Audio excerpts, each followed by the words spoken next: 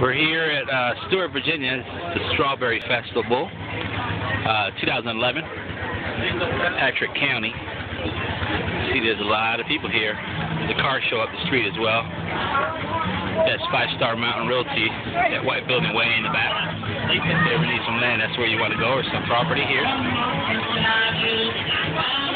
But you can see it's really jamming. Beautiful location. And the kids coming up with the balloon. I.